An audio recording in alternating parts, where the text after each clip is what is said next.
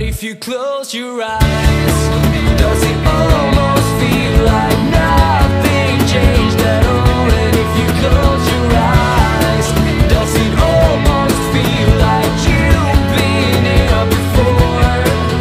How am I gonna be an optimist about this? How am I gonna be an optimist about this? We were caught up and lost in your poor